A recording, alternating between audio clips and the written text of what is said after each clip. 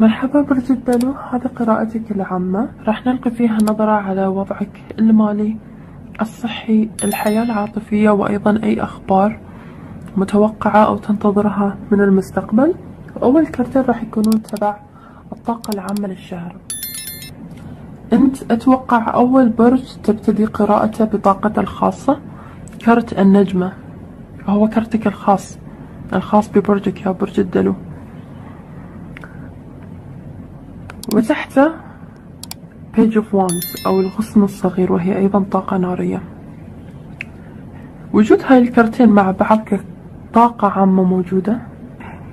خليني أفهم أن أنت يا برج الدلو مقبل على شيء كبير. شفت حجم النجمة؟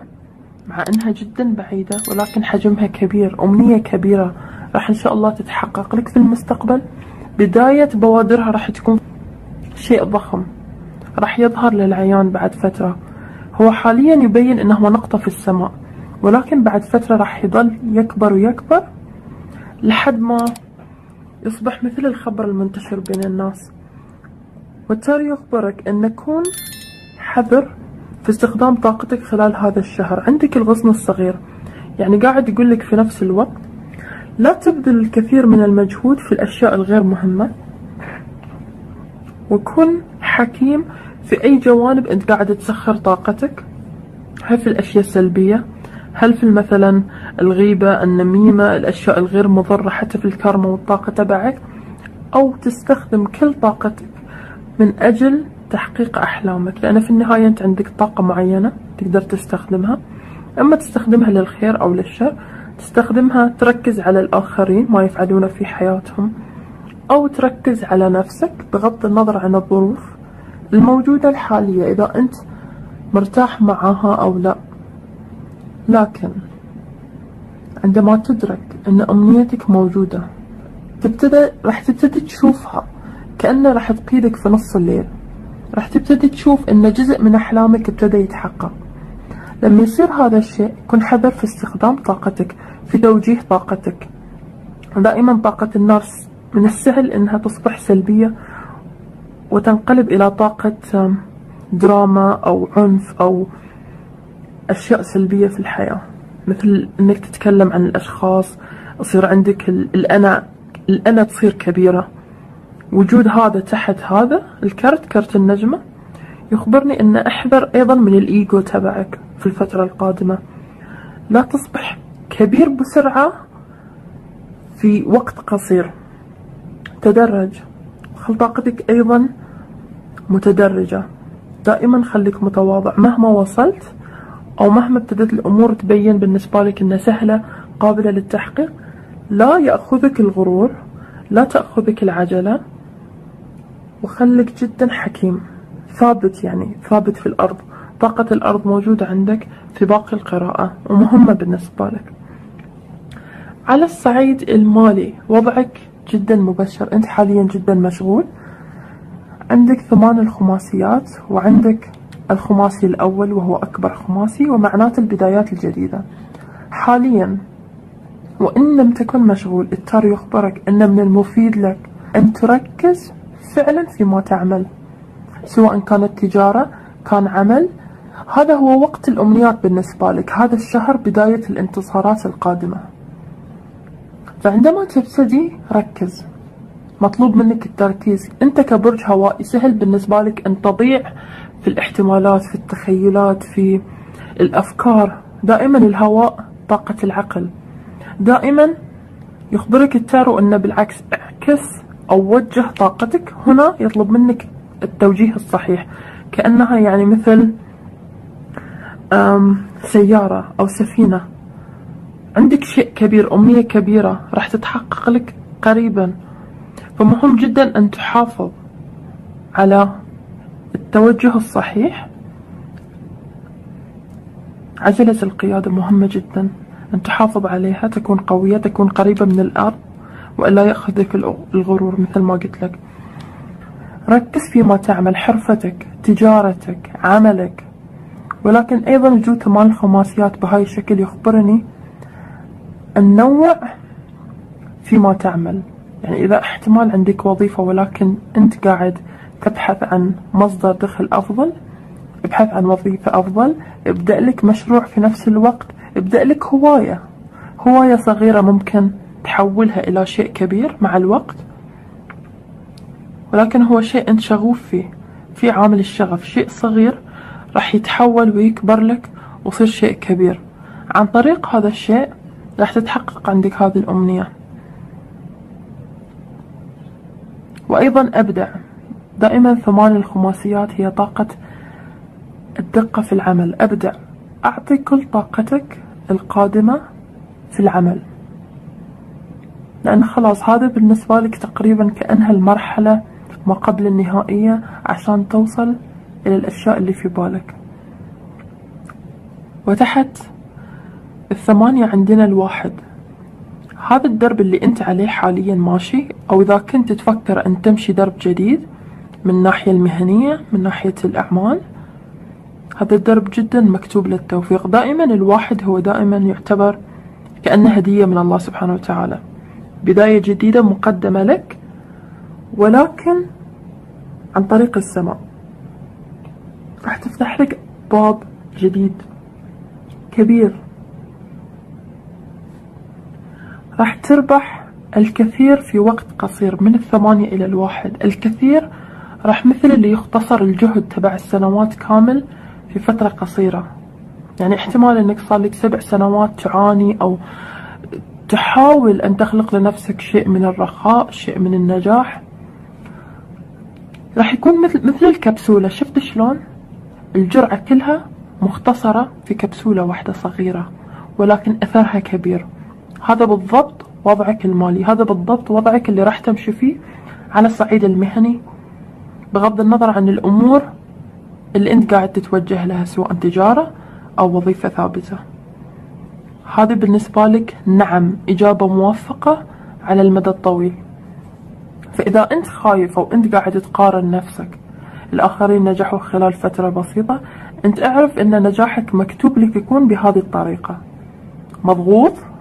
نجاح كذا سنة راح يأتيك دفعة في مجال جديد. راح كله يختصر لك هاي التعب اللي مريت فيه كل هالسنين في بداية مشرقة جديدة. على الصعيد الصحي يا برج الدلو. عندك أيضا طاقة أرضية ملكة الأرض ملكة الخماسيات وأيضا طاقة نارية. ثمان الأغصان. الاجتماع يعني شوف بالنسبة لي بالعكس مفيد جدا وإيجابي جدا إن ما لقيت الكثير من السيوف طاقة السيوف مو موجودة بكثرة عندك في القراءة. وهذا بسبب أعتقد أنك مريت بمرحلة تطهير وانتهيت. حاليا أنت إنسان عارف حالك واثق من نفسك متواصل مع نفسك وربك. فأنت في مرحلة معرفة. توقفت عن البحث عن الذات لأنه خلاص بالنسبة لك كأنما وصلت إلى شيء من تحقيق ذاتك. عندك تواصل روحاني قوي وعرفت نفسك لدرجة أنه خلاص وقعت وقعت عندك كرت ملك السيوف. وصلت إلى المرحلة الختامية من معرفة النفس ومن النضوج في طاقتك الهوائية. أنت نضجت. فالحين بعد النضوج مطلوب منك أن تسخر قدراتك وطاقتك تجاه تحقيق أمنياتك. ملكة الأرض في مجال الصحة تعني لي أن أنت جدا قوي. وغير عن القوة الملكة هي طاقة أنوثية أكثر فألاحظ أن في الفترة القادمة اهتم بنفسك زيادة دلع نفسك آه، شكليا جسديا حتى على المستوى الفتنس أو الرياضة. اهتم في نفسك لأن أي تغييرات تجريها هاي الفترة حتى وإن كان على مستوى الشكل أو الجسد راح تبين وتظهر نتائجها بسرعة. قلت لك عندك سرعة في النتائج. انت يعني كأنما الآخرين إذا كانوا يحصدون أو يحصلون على راتب شهري أنت كأنما في الحياة بشكل عام كان راتبك الشهري موقف أو تحصل فقط على جزء, جزء صغير منه والحين راح تحصل عليه كله دفعة واحدة. فكن حذر. كن متزن. اتزانك مهم في الفترة القادمة ولكن هذا ليس خوف عليك فأنت أيضا نضجت. لا أرى أن عندك أي مشاكل جدية أو كبيرة. على الصعيد الصحي أنت قوي ولكن احذر شوي من أن تكون عاطفي. أو تكون شوف في فرق بين طاقة الملك والملكة. الملكة ممكن بعض الأحيان تنجرف وراء أمور غير مهمة. طاقتك الجسدية ضعها فقط في الأمور اللي تخدمك ومهمة جدا بالنسبة لك. أنت مقبل على مرحلة تحتاج فيها كل ذرات طاقة من أجل أن تحقق. احذر أن أنت ما تبدد طاقتك على أشياء غير مهمة. وقت الراحة راحة وقت العمل تكون جدا منظم وتنجز العمل على أكمل وجه في الوقت المناسب. وهذا أيضا من التحديات اللي يواجهها برج الدلو. لأنه برج هوائي يحب الحركة والتغيير كثيرا فصعب عنده أن يؤدي كل شيء على الوقت. ولكن الديسبلين التحكم في الذات جدا مهم بالنسبة لك هاي الوقت. احذر في ماذا تضع طاقتك. وأيضا أحرص على شكلك. شكلك جدا مهم. راح يعكس نفسيتك. إذا كان عندك أي رغبة في أن تخسر الوزن أو تغير من شكل جسدك عن طريق الرياضة أو هاي الأمور في هاي الفترة التغييرات راح تكون جدا إيجابية وسريعة معك على الجانب العاطفي عندك كرت العالم. كرت العالم هو بالنسبة لي كأنك انتهيت من فصل معين في حياتك. فصل المتعب اللي تنتظر فيه نتائج. لأن قبل الثمانية يأتي ثم... آه سبع الخماسيات. وقت الانتظار للنتائج انتهى. هذا وقت تحقيق النتائج والانتصار بالنسبة لك. كرت العالم. امرأة في المنتصف كأنما ختمت شيء أو نجحت في شيء. أكملت فصل معين مهمة معينة. ولديها الأبراج الأساسية أو ال fixed signs موجودين حولها. الدلو العقرب الثور والأسد. هاي الكرت بالعادة يعني الختام ولكن أنت يعني لك شيء أكبر من الختام في هاي القراءة. أنت انتصرت على شيء جدا صعب ولكن الشيء الصعب مو فقط في الظروف المحيطة لك أو في الأشخاص اللي حاولوا أن يأذونك يسحبونك للوراء كل ما تتقدم خطوة للأمام. يحاولون يسحبونك خطوتين وراء. انتصارك مو فقط على هاي الأصعدة وهاي الأشخاص. أنت انتصرت على نفسك. احتمال أنك في السابق كنت دائما تشكك في نفسك.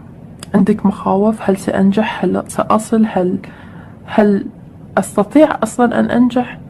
كان دائما في مثل الصوت اللي يسحبك أيضا إلى الأسفل. أنت انتهيت منه.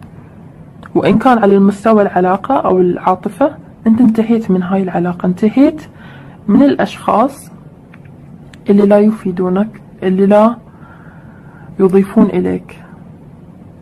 أنت الحين كأنما انتهيت من مرحلة التطهير خلاص مريت بالتطهير طلعت جديد عندك فصل جديد وتحت هاي الكرت عندنا ملك السيوف.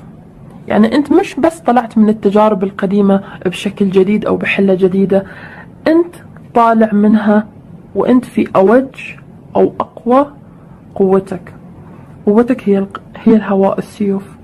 أنت طالع منها ملك السيوف. أنت ما خرجت من التجارب كفارس أو كملكة. أنت خرجت كملك. أنضج طاقة للأبراج الهوائية هي ملك السيوف.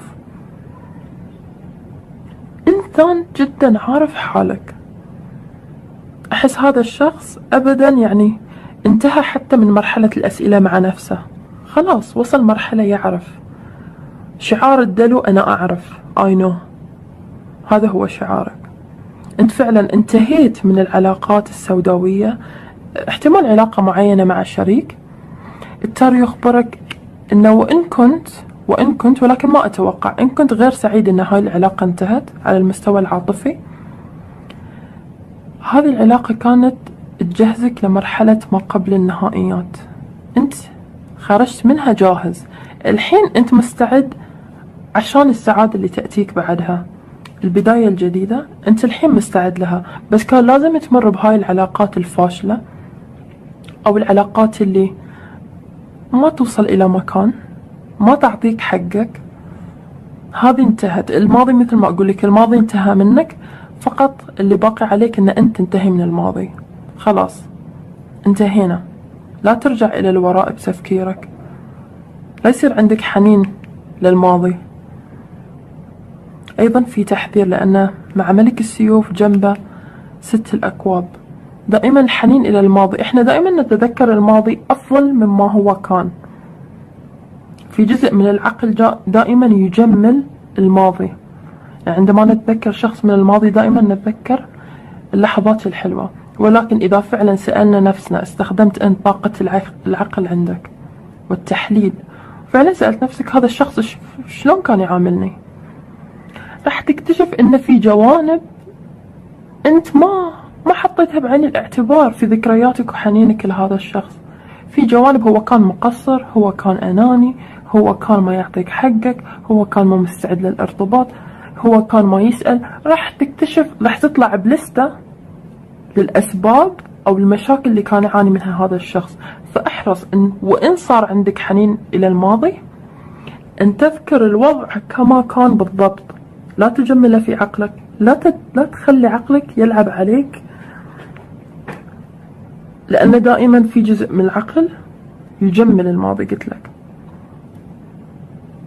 ولكن أرى أن أكثركم عارفين هذا الكلام كله؟ وصلت إلى تصالح بشأن هذا الموضوع لأن في النهاية أنت الدلو.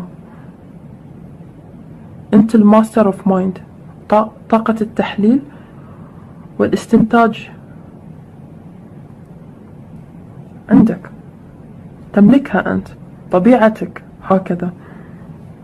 الأخبار اللي تتوقعها في المستقبل أيضا لديك كرت العدالة برج الميزان.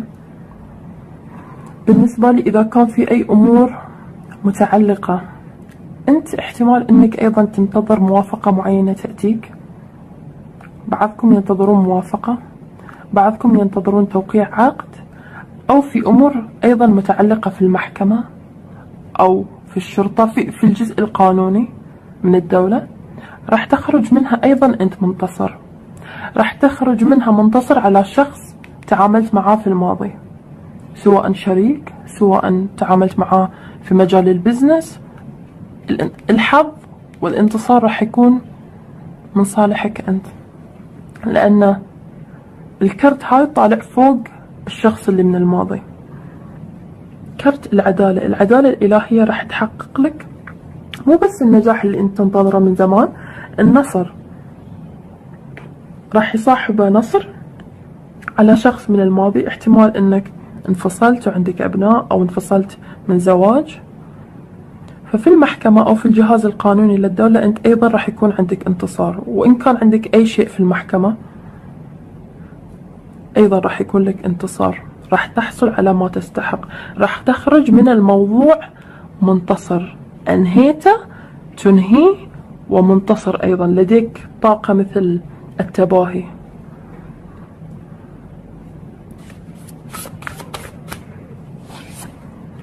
Love who you are. أحب نفسك. You are divine. Delightful. أنت كائن في النهاية خالد نوعا ما. لأن عندك روح لا تنسى. وأنت أيضا من الممتع أن أن الناس يكونون حولك. الناس دائما ينظرون لك أن أنت نجمة. الناس يستمتعون بوجودك في محيطهم. ولكن فقط أنت لا تظلم نفسك. لا تجعل التشاؤم أو حتى أشخاص معينين من الماضي يحسسونك بالذنب. أنت لم تخطئ أنت على حق ستخرج من الموضوع منتصر وأنت فعلا تستحق هاي البداية وهاي النجاح اللي آت إن شاء الله في طريقك. فعليك أن فعلا تحب نفسك. يعني خليك هاي الفترة خذ من طاقة النار والتراب أفضل ما يقدمون لك. التراب طاقة الرخاء والأموال والنار طاقة الانتصار والفخر والاعتزاز بالنفس. طاقة برج الأسد اللي موجودة هنا جدا مهم بالنسبة لك. لا تكون في قوقعة بعد الآن وخلي الناس ترى حقيقتك. وأيضا راح أسحب لك كرت تبع ما يجب أن تعرفه أو المفاجآت اللي يخبيها لك. Ring Master of Synchronity Clear Vision Details. دائما أتكلم لك عن التفاصيل. التفاصيل. التاريخ يخبرك ركز. ركز في عملك. أيضا ثمان خماسيات تعكس نفس هاي الطاقة. شخص يعمل والناس نيام يغلق على نفسه جميع الأبواب يتخلص من جميع الأشياء اللي تشتت انتباهه وتركيزه يغلق الباب يركز على حرفته وعلى صنعته. احتمال أنت حاليا قاعد تبتدي مشروع جديد حرفة جديدة هواية جديدة. ركز فيها وتفاصيلها لأن هاي التفاصيل هي اللي راح تقيدك إلى الرخاء المادي اللي أنت دائما كنت تحلم فيه. ولا يتشتت انتباهك. لا يتشتت انتباهك بالحنين إلى الماضي بالشعور بالذنب بالشعور أن أنت مثلا ظلمت أحد أنت على حق وهذا الشيء راح يبين عندك في المستقبل ويتضح. واللي تعمل عليه في الخفاء راح يظهر إلى العلن مثل النجمة.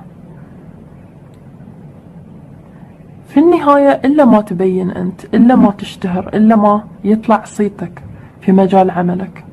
وتحصل على الأشياء اللي كنت من زمان أنت تستحقها ولكن الغريب في الأمر أنه راح تأتيك دفعة واحدة. يعني شيء